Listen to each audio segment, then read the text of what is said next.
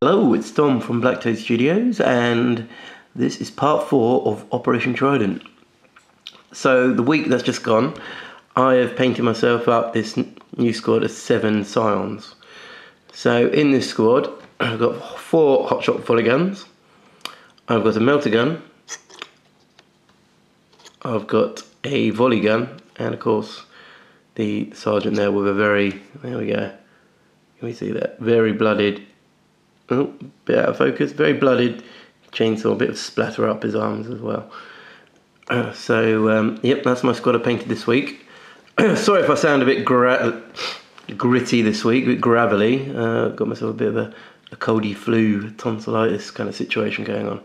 So, my apologies. And as why this squad's taking a bit of time. So, like I said previously, these guys will be part of the airborne formation um, with three other squads and a command squad. So when these guys disembark from their Valkyries, they will gain themselves split fire and twin linked. So this is where the melter gun comes in handy, leaving the rest of the squad able to deal with infantry, hopefully. The melter gun comes in, ballistic skill 4, re-rolling misses, so hitting on freeze, re-rolling, so it's a good chance of doing some damage, hopefully in range as well to use the uh, the uh, melter option, leaving the others to basically fire on any infantry squads and preserving them from being assaulted or small arms fire. So that's basically what these squads are built for. Taking out one something big and nasty to start with, covering themselves, and then moving on to objectives, or moving in with crack grenades, or just laying down some fire. So pretty brutal, and hopefully, fingers crossed, quite effective as well. Um, this week coming, I will uh, be painting something a bit differently. But first, let's see what the squad looks like with what we've got so far. Here we are, here's the uh, Kitrin Drakes at the moment. All the squads that I've painted up until this point. So at the front here we've got our command squad with the uh, melter gun, the two hotshot volley guns, the medic, and the commissar, as well as the uh, big man with a power fist. Behind, we've got the three squads of scions, each armed pretty closely. I've got two squads of seven with volley guns and melter guns. And over here on the left, we have got the plasma gun and the melter gun in that squad. So that is what I've got so far. These guys will be the the foot slogging part of the airborne. These guys will be the ones brave enough to jump out the Valkyries and uh, doing their stuff. So, like I said before, I'm really happy how they're turning out. Not quite commission standard, um, but they're my standard and they're battlefield standard, so that's all I care about. But um, I hope you guys are enjoying this. Remember, if you've got any questions, please put them below in the comments and I will aim to answer them in the uh, next update. So, like I said, these are all the infantry for the airborne at the moment. So, of course, what does every airborne formation need? Valkyries. And let's have a look what I've got to paint this week. So this week, something a bit different. I'm not saying I was getting bored of painting Scions, but something a bit different now. So we've got a Valkyrie. Um, so in the formation that um, I've got so far, and also on my army list, I've got four Valkyries.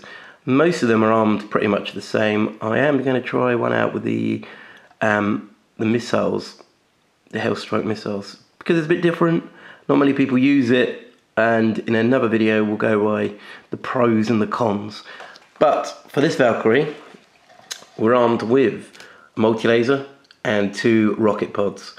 Now these rocket pods, um, I believe they're strength 4 AP5 large blast. So with two of them, that's a fair bit of uh, uh, infantry clearance. Hopefully, that's going to be popping down and causing some pain on the enemy. and that's really why I've taken these because, as you can see from the squads, they are pretty small. They've got some nice weapons, but unfortunately, hotshot volley guns are only range 18. So I need some things to shoot from a distance and to thin out some herds. So if I was going, to going against demons with lots of little critters, necrons, orcs, other even Tau to a degree. Something with a fair fair bit of infantry. So I mean, these armies vary. You can of course have a very elite Tau army, um, like most people do. But anyway, I'm going on a tangent. So sorry, these rocket pods, missile pods, sorry, um, would be used to thin out the squads. Initially to drop the stormtroopers in, and then after that they'll be used to support them to go around causing chaos. And with a Valkyrie's armor, hopefully kind of staying up in the air for a bit. Valkyrie armor being 12, 12, 10.